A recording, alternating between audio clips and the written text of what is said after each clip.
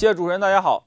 明慧网消息说呢，二零一八年正月初五，山东省招远市玲珑镇有人将居民家门上贴的这个春联啊，“真诚善惠家兴旺，忍让宽容福民长”给告发到市政府了。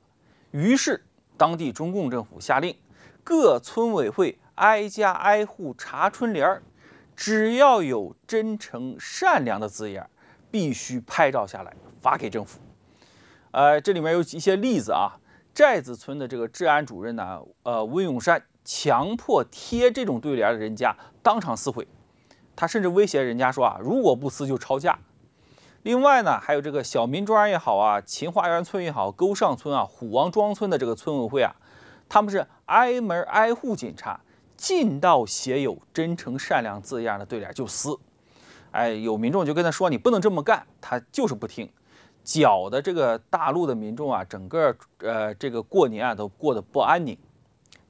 我仔细想了一下啊，大年初五，官员去百姓家里撕对联的这种行为，在我有限的历史知识当中，好像没有哪个朝代出现过。哎，据我所知啊，清朝虽然是出现过文字狱。但那只是文人写诗，哎，或者写文章犯了忌讳，哎，比如说清风不识字，何故乱翻书？哎，人家觉得你是讽刺我大清不认识字是吗？当然，这种是历史上的事儿，哎，溥仪老先生可能会抗议啊，朕的大清都亡了，还说这个有用吗？哎，我们只是说这个道理，大清的文字狱啊是个大新闻，在当时。那么在中共的统治下呢，一个村官都可以制造出这种冤案文字狱。当然了，很多人可能不当回事儿，你这是不把村长当干部啊？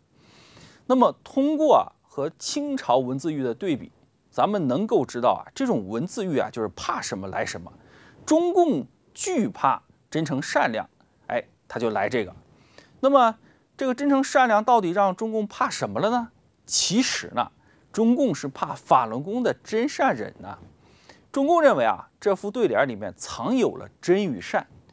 其实呢，对联的上联是有真与善，下联还有忍呢，没文化真可怕。那么大家现在啊，把脑子当中的观念都清空，我们再看这副对联：真诚、善惠、家兴旺，忍让、宽容、福民长，好不好呢？肯定好啊！如果我走亲戚串门啊，看到谁家，哎，挂了这副对联，我第一个印象是这家人不俗啊。他对联没写什么。啊，富贵啊，招财进宝啊，这类话反而是一个重德有修养，那这家人肯定是一个大善之家嘛。所以这副对联好。那么什么人才会怕真善人这三个字呢？大家知道啊，那个骗子啊怕真，土匪他是不讲善的，流氓是不忍的。为什么这么说呢？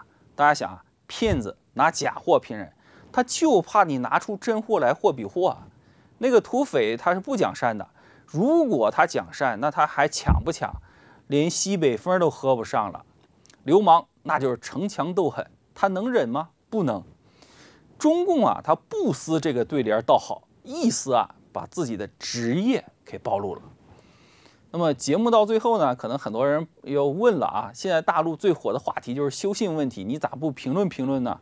哎，咱们上个星期的这个微视频是说了一下海外民运关于这个事儿的态度啊，又是上书又是座谈的，搞得很热闹。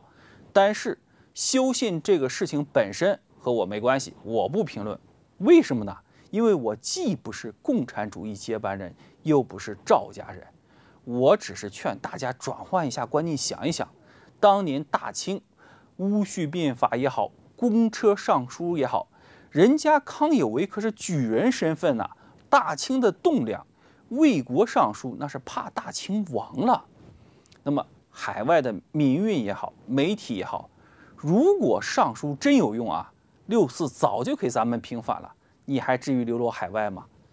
别把自己当成共产主义接班人，这个政权和咱们没有关系。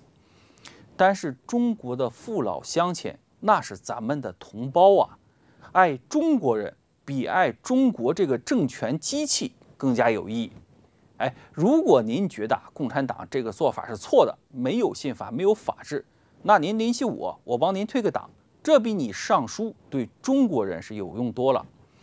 那么。至于海内外唱赞歌那种党徒啊，说什么都没用，人至尽呢，真的是无话好说。好，谢谢大家，今天的微视频就到这里，更多微视频在新唐人网站。